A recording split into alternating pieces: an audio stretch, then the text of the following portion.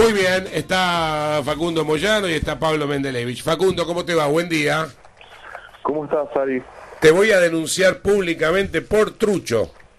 ¿Por qué? Porque me dijiste que me ibas a invitar a tu fiesta y nunca me llegó la invitación. No, te, te lo dije, te lo dije y pensé que, que ya... Nah, le habrán mandado a otra dirección. No, este- te lo dije, no, te lo dije delante de María Julia. María Julia fue. Sí, pero María Julia, ¿a dónde le mandaba la invitación? No, hablé, lo hablé por DM, le dije, ¿estás anotada? Vos también te dije, ¿estás anotada? No, pero yo ni sabía dónde era la fiesta. ¿Cómo que estoy anotado? te, per- te perdiste un, fe- un fiestón. No, ya sé, pero no. encima se lo decía, hermano. no, pará. claro que sí. No, la parte, la parte de las minas, no, la parte de las minas me creo que estuvo bárbaro. Bueno, eh, Facundo, te felicito porque sé que fue una fiesta muy linda y igual gracias por invitarme y fue un malentendido entonces. A Pablo Mendelevich no lo invitaste. La, la próxima, la próxima le invito a todo, a toda la producción. No, no, a toda la producción no se sabe cómo comen, pero a Pablo sí. a todos. a Pablo. Mendelevich lo voy a comprometer públicamente. ¿Usted qué opina de Facundo Moyano? Eh, me parece que yo siempre te dije, Ari, que a mí me parecía que eh, Moyano padre, Hugo Moyano, es uno de los cuadros políticos más importantes de la Argentina. De los mejores... Pero Facundo, estamos hablando con el hijo, no con el padre. Bueno, que- que a eso voy, es que los hijos le salieron mejores. Creo que, que Facundo Moyano también es un cuadro un cuadro político importante y muy promisorio. Y creo que tienen conjugan la astucia con, con la, la experiencia y a veces, bueno, bordean, muchas veces bordean la legalidad, son un poco audaces. Pablo es más audaz, Facundo es el, el- el más eh, tranquilo, me parece, de la familia, con una formación interesante. Facundo, ¿cuál es tu formación? Además de que sos un tipo que sé que absorbés, que lees, que te gusta eh, mucho la economía, la política, ¿qué estudiaste vos? Mira, en realidad eh, no, no, no terminé ninguna carrera, estudié Derecho, estudié, que ni siquiera lo tendría que decir porque realidad fue menos de un año, pero Historia también, eh, en la Universidad de Mar del Plata, Derecho sí, rendí, rendí varias materias en Mar del Plata, pero en realidad no terminé ninguna carrera, es una asignatura pendiente. De hecho, mi, mi viejo siempre me lo reclama en público, este no terminó, tengo un hermano que es abogado, yo seguí sus pasos y después cuando arranqué con, con la cuestión sindical, bueno, la verdad no me dieron los tiempos.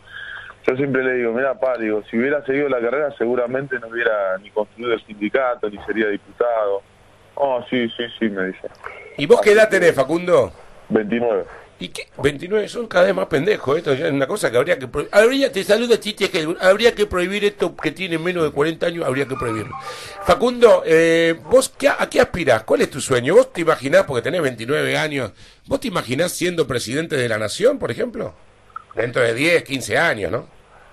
No, mira, yo en realidad, y, y no es una respuesta políticamente correcta, eh, yo aspiro Ali, a, a estar eh, a estar preparado, a hablar de, de- de un sueño presidencial es, eh, qué sé yo, hasta un poco irresponsable. No, pero te estoy diciendo en el 2015, digo, de, de acá a dos, a dos a tres periodos. Sí, todos tenemos derecho a soñar y- Claro. y, eso para alguien que está en política, Ari, yo creo que cualquier tipo que está en política y tiene un cargo medianamente relevante como el de como el, que ocupo yo, eh, se le pasa por la cabeza. eh.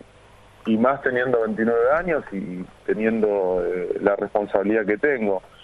Por supuesto que eso pasa por la cabeza, pero bueno, yo sé que, que tengo que trabajar mucho, tengo que trabajar en mi formación, estoy aprendiendo mucho, realmente me encanta la política, tengo vocación para esto, me encanta la actividad sindical también, pero me gusta más la política y bueno, realmente me sigo, me sigo cultivando, me sigo preparando para esto. Bueno, y hoy por hoy ya tenés a tu candidato, porque por un lado Hugo dice que no se enamora de ningún candidato, pero por otro lado, eh, con Pablo el otro día lo hablábamos, ¿no? O sea, estabas eh, vos en esta fiesta a la que tan amablemente me invitaste y yo no concurrí, estaba ahí la sensación de que estaban haciendo una alianza con Massa, que eh, tu papá y vos estaban en muy buena sintonía con Sergio. Mirá, digo, fue un hecho político en sí mismo, ¿no? Se, se transformó en eso la fiesta, había muchos, muchos, igualmente había gente del fiolismo, había hasta, hasta macrista, eh, pero esto fue, fue, fue un gesto importante, un hecho político, hubieron elogios por parte de, ambos, Sergio de hecho lo invita al escenario y habla de, de- Hugo como una figura eh, un de los trabajadores, el líder de los trabajadores argentinos, dijo Sergio. Eh, mi viejo habló de, de Massa como un político joven eh, con un futuro promisorio, con, un gran futuro, y la verdad que esos son gestos muy valorables en la política, más cuando se hablaba de eh, algunos chispazos que de hecho existieron en la campaña legislativa del año pasado, eh, pero después hay un, una cuestión institucional, un rol que ocupa Hugo Moyano, que es el rol de secretario general de, de un sector importante de, de la CGT, que la verdad creo que le impide definirse por, por tal o cual candidato. Me parece que es, es perfecto, creo que el lunes, después del el viernes fue la fiesta, eh, y el lunes eh, salió en, en una radio y, y, explicó que él bueno no estaba con ningún candidato y me parece que es lo más responsable. Sí, que no lo enamora ningún candidato. Vos Imagínate sí, que sí. mañana, eh, por las razones que, que ya conocemos, la, Sí, sí. la, la tensión inflacionaria y demás, lleva adelante un paro que seguramente se va a tildar como político en un año electoral, más allá de que los paros de la CGT fueron en años no electorales y siempre el gobierno los tildó de políticos, van a decir, bueno, si Moyano ya se manifestó por masa eh, y si se hubiera manifestado por solo, entonces el paro es de Scioli o entonces el paro es de Massa, que de hecho lo dijeron en algún momento. Sí. No, el paro el paro es político. No, también se decía que eran los socios, tu papá y este Massa de los saqueos que iba a haber ahora en las fiestas. Bueno, sí, sí, eso es eh, la lógica del kirchnerismo, no siempre echar la culpa a alguno, pero me parece que por, por eso también es más responsable, es aún más responsable la, la decisión del secretario general de la CGT de no definirse por ningún candidato. Ah, ahora, te quería preguntar, porque hace un rato hablamos con Martín Lustó y eh, es un hombre joven, es un muy buen este candidato, viste, no sé si te enteraste que Martín va a ser candidato a jefe de gobierno en la ciudad. Sí, ayer se lanzó. Sí, bueno, eh, vos sos eh, un baby al lado de él. Él dijo que tenía 44, vos tenés 29, pero ambos también tienen en común esto. Son tipos que eh, tienen buena imagen hoy. Facundo Moyano es, ha tenido un buen año, los medios ayudaron, este, él se desempeñó bien en los medios y además este, por el lado de las chicas también entró, hasta se sacó una selfie sexy. ¿eh? Y, este, bueno, pero todo suma, ¿eh? todo suma a la hora de votar. La realidad es que son dos tipos que estuvieron en el kirchnerismo y hoy son críticos del kirchnerismo. Quiero que me cuentes cómo es el tema con el kirchnerismo. ¿El kirchnerismo te seduce? ¿Estás un tiempo y después uno se va decepcionado? No, te, eh, no quiero que me contestes por Lustó, pero veo dos casos parecidos, que estuvieron adentro y hoy están afuera y son críticos. ¿Cómo es ese proceso? Mirá, en principio hay un cambio es cierto que existe un factor subjetivo que seguramente eh, tiene que ver con lo que vos decías recién, ¿no? Que el, maltrato, por ahí la lógica o el estilo de conducción de Cristina es, es, un tanto eh, danino para la construcción política o para la construcción política que nosotros creemos que tiene que ser. Y después hay un factor objetivo, Ari, que, bueno, vos eh, te gusta la economía y te he escuchado hablar y, y tenés análisis muy, muy eh, acertados. Eh, después hay una realidad en la que si nosotros comparamos 2011 con 2014, vamos a ver con que en 2011, cuando Cristina toma el gobierno, habían 52 mil millones de dólares en reserva, habían superado y gemelos, había crecimiento con una inflación importante, ¿no? De entre un 20 y un 25%, pero que el país crecía, eh, en donde la paritaria funcionaba de alguna manera como una herramienta de eh, reparto de la riqueza, si querés, ¿no? Porque eh, datos estadísticos de centros de estudio como el Cifra, ¿no? Para no entrar, digo, en, en, los datos del, del Congreso. Sí, se trata de gente allegada al gobierno, como Cifra, claro, por ejemplo. Era sí. oficialista que inclusive tienen eh, la metodología de cálculo es en base al IPC 9 provincias que escribió el propio ministro de Economía Kicillof en el año 2007 cuando desechó la metodología del INDEC claro. con su centro de estudios Senda, eh, Centro de Estudios para el Desarrollo Argentino, eh, mide eso y mide una inflación eh, que está acorde con la que percibe todo el mundo. Era una época en la que eh, no, no, había pérdida de poder adquisitivo, bueno, que se, se, le empataba bueno, en inflación o se le ganaba, y eso ya no pasa más. inflación y se recuperaba poder adquisitivo. A partir del 2011, 2012, más puntualmente, el sector público empezó a perder. Y a partir del 2012, el sector privado empezó a perder. Bueno, entonces lo que te indica esto, Ari, es que objetivamente, o sea, el modelo empezó a cambiar. Más allá de que eh, el factor subjetivo del cual hablamos hace un rato también empieza a jugar fuerte, ¿no? Porque Cristina, a ver, Néstor también por ahí te retaba en público, lo agarraba a Scioli eh, y, y, lo basureaba un poco, pero bueno, era un estilo pero después había también negociación. De claro, era más flexible, era duro, pero después era afable, no es el caso de Cristina. Acá eh, hay una lógica de disciplinamiento absoluto que el, que la acepta está dentro. Te diría, eh, yo recuerdo que Sergio antes decía, o sos esclavo o sos enemigo. Sí. Eh, y bueno, yo prefiero que me tomen como enemigo, pero estar afuera y, y actuar de acuerdo a mis convicciones, porque yo no estoy de acuerdo con el INDEX, yo no estoy de acuerdo con Moreno, yo no estoy de acuerdo con la inflación, yo no estoy de acuerdo con un modelo económico que eh, apunta o que tiene una tendencia de ir hacia a profundizar un círculo vicioso que es el de la emisión y es el de la tensión inflacionaria, a partir de, o sea, alimentar eh, eh, el consumo, sí, que todos estamos de acuerdo con una... Sí, pero eh, sí, hay que incentivar la producción, no solamente el consumo. También hay que preguntarse... inversión, sí. A mí una, una, controversia se puede sumar Claudio, que es nuestro hombre acá de la economía. Si lo que pasó a partir del 2011, además de daño autoinfligido, mala praxis, no fue también consecuencia de que el modelo se corrió unos años antes de ciertas prolijidades, porque ya a partir del 2006, con que la inflación tenía que dar 10% de prepo,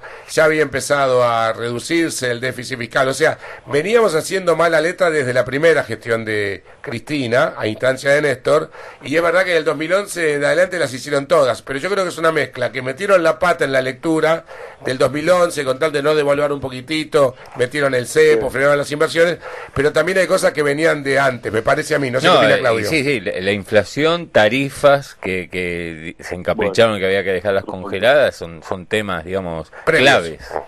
Facundo. lo que pasa es que uno por ahí esperaba eh, que se corrigieran determinadas cuestiones, uno apostaba a que se corrigieran. De hecho, cuando a mí me preguntaban en el 2011, yo era candidato del FPP, FPV, uno decía, o sea, señalaba de alguna manera cuáles eran las cosas a corregir. Cuando nosotros hablábamos de profundizar. No decíamos profundizar, eh, a ver, eh, la mística, digo, porque si no hay realidad, digo, la mística te la metes eh, en el bolsillo.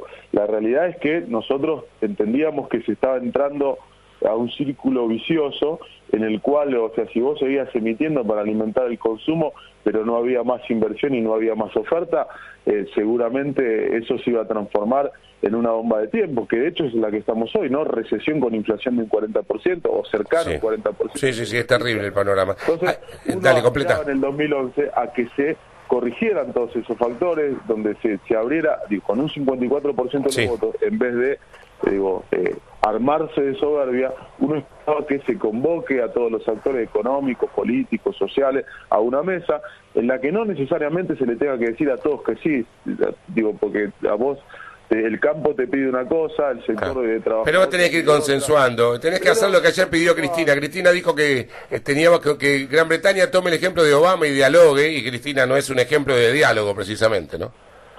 Bueno, eh, eso es parte del discurso, ¿no? Eso es parte de lo que votamos los miércoles en el, Congreso de la Nación, ¿no? Votamos todas cuestiones simbólicas que no tienen demasiado que ver con la realidad. Pero bueno, eso es un factor importante, ¿no? Lo, subjetivo. ¿Cómo juega lo, subjetivo, lo subjetivo la construcción política? Que por ahí de Néstor se percibía, digo, y yo sé que las comparaciones muchas veces son odiosas, pero son inevitables, ¿no? Porque de hecho hay un cambio en la, en la manera de manejar las cosas. Néstor por ahí tenía un estilo similar, pero después por abajo, por otro lado, te convocaba, te llamaba, negociaba. Ahora no se puede negociar. Eh, la última, sé que hiciste críticas en las últimas horas en tu eh, Twitter y demás sobre cuestiones vinculadas con lo que el gobierno de la provincia anunció, vos sos un hombre vinculado a los peajes, como un tercer carril, como una mejora, para perder menos tiempo cuando vamos a Mar del Plata, etcétera. ¿Qué cuestionás de las últimas eh, obras de la autopista Buenos Aires-La Plata?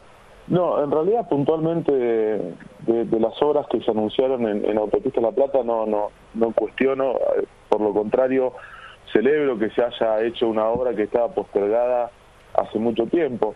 Lo que me parece a mí eh, llamativo es que ayer se anunció esta obra del tercer carril con eh, el gobierno nacional y empezaron a hablar de datos. Digo, me llama la atención, digo, después eh, lo, de capitalizar esa obra, que lo haga el gobierno nacional, y que el gobierno provincial se deje manosear de esa manera, es una cuestión que tendrá que manejar eh, el gobierno provincial.